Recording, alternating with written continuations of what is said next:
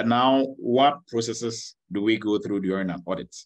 So this is a very high level uh, overview of the processes that we go through for an audit. Uh, the first one is planning, right? Uh, without planning, I mean, nothing can really move forward. Uh, and the second one is the field work. So an example, uh, I'll speak to PCI very often because you know, I do PCI.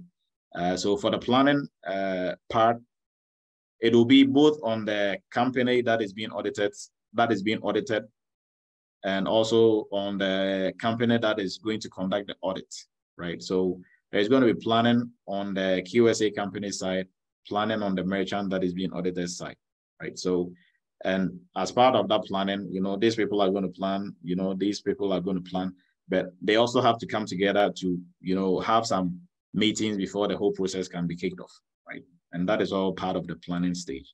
Now, the field uh, work is, you know, where you actually get onto the, you get on the ground and start doing your audit. So, you know, i.e. doing interviews, looking at evidence, uh, just observing what is going on to really see that uh, what they say they are doing on paper is what they are actually doing on the ground, right?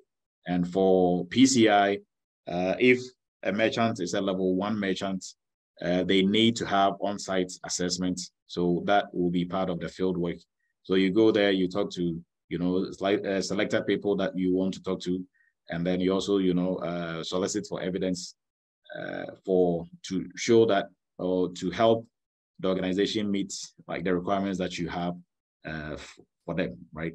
Now, the third portion is reporting, and this is uh, almost a very difficult part of the whole entire process, right?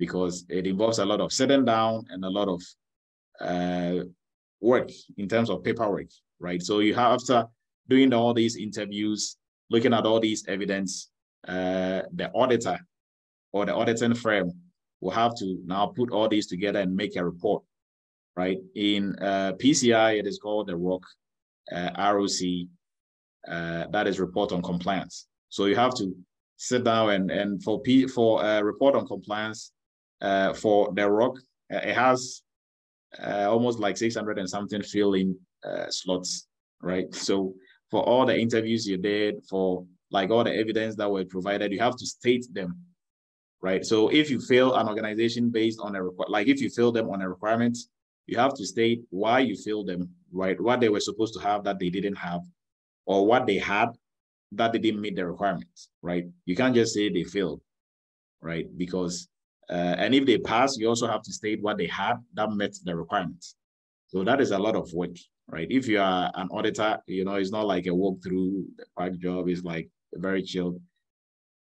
It is a lot of work if you have to do like out of all these four, the reporting side is where, you know, you might probably call it the B word, right? So, uh, and the last one is follow up. So follow up uh, might be needed in some cases, it might not be needed in some cases.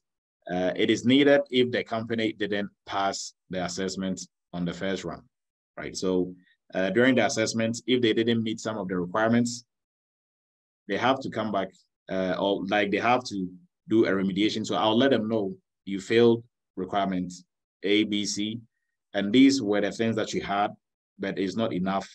Uh, you failed it, so you have to provide something else, or you have to implement the some controls that is going to meet the requirements. So I will explain the requirement to them, but I'm not going to tell them what to do, right? So if probably they are not getting it, uh, I'll explain it to them, uh, but I'm not going to tell them exactly what they are supposed to do because that is not my job, and that will be, uh, you know, a conflict of interest, right? So they should have another auditing firm or another uh, consulting firm that they are working with if they don't have an in-house, you know, PCI team for this instance, if it's a PCI team or an in-house uh, auditing team or a GRC team.